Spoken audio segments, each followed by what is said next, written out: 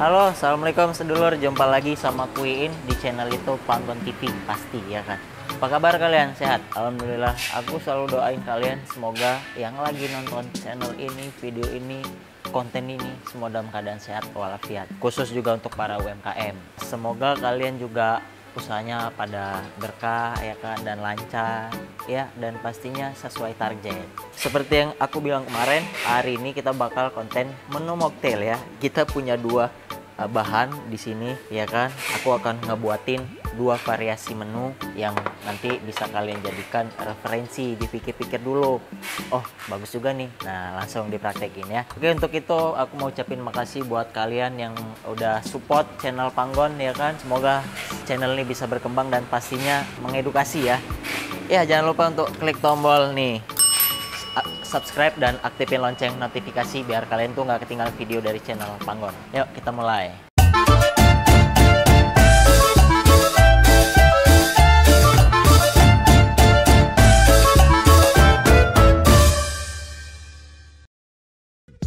Oke sebelum aku lanjut minta maaf kalau misalkan audio agak bocor karena memang ini di jam 5 eh jam 4 sore ya kan. Jadi gini sebelum kita lanjut, aku kan kemarin sharing sama sedulur yang berusaha atau yang lokasi usahanya di Medan Tuntungan ya, Medan juga.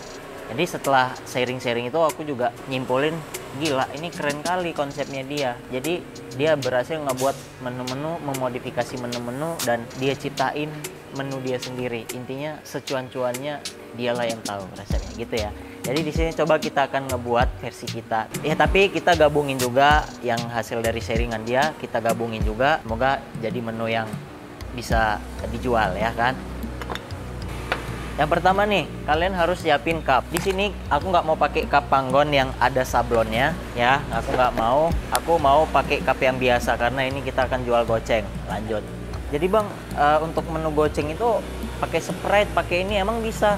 Ya bisa. Ini kita buktiin. Pertama simpel aja, tuangin aja sirup marjan. Nah, eh ini marjannya udah mau habis. Oh jangan marjan ya, kita pakai sirup ini aja.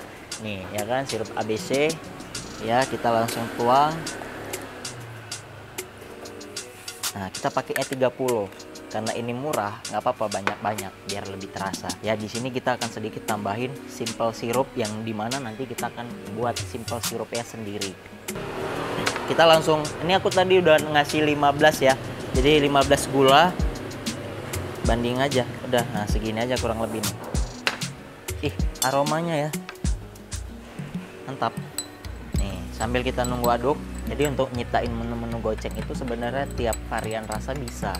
Ya kan? Tiap varian rasa. Misalkan menu fresh meal dua layer. Jadi kalau misalkan itu kan menu 10.000 8.000 jadi kalau kalian mau bikin menu yang goceng ya tinggal dikurangin aja. Nah, sama harga pokok produksinya mulai dari cup bahan-bahan itu kalau bisa agak di cost agak dipangkas maksudnya. Nah udah larut langsung dituangin aja semuanya ya. Diaduk di sini. Nih ya kan udah jadi nih intisarinya ya kan? Nah, kita kasih es batu. Kita lanjut kasih es batu. Tahap selanjutnya tinggal dikasih ini aja nih telur kodok ya kan tuh nggak usah pelit-pelit lah. Karena ini kan hitungannya murah juga ya kan? Tuh 3 sendok sekaligus. Nah langsung spreadnya berapa? Ya dilihat ya lihat ya.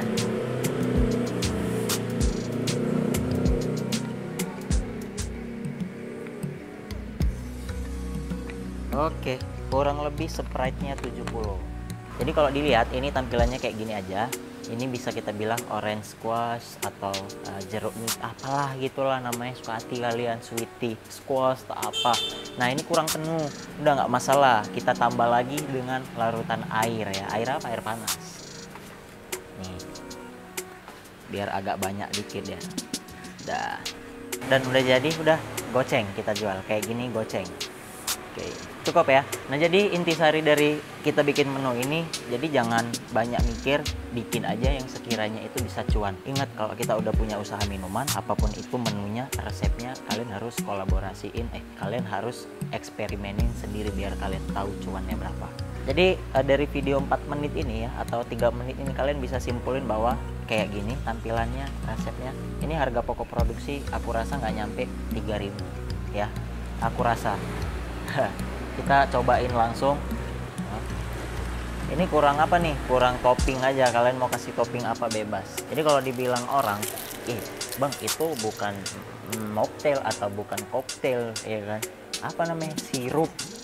Ya itu biarlah. Namanya kan di bahasa minuman tuh harus ada kekiniannya gitu ya. Yuk kita akan coba rasanya. Bismillah. Pasti ya rasa sirup ya kan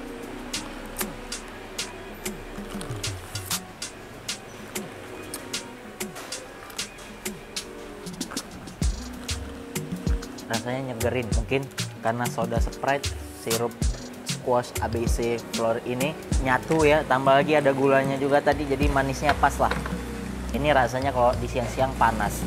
Aku rasa ini bisa jadi uh, menu best seller paling laris. Yang pasti jangan sampai boncos juga. Ini prediksi aku hitungannya nggak nyampe 2000 nanti di deskripsi aku kasih catatan HPP nya Oke jangan lupa kalau kalian suka sama video ini like, comment, share ke teman-teman UMKM biar juga makasih pada sedulur Dio ya, Dio Tedipo namanya yang udah sharing sama aku sehingga ngebuka mindset dan pikiran kita semua. Ya udah kalau kayak gitu aku Iin pamit undur diri. Jumpa lagi sama aku di channel Bangun TV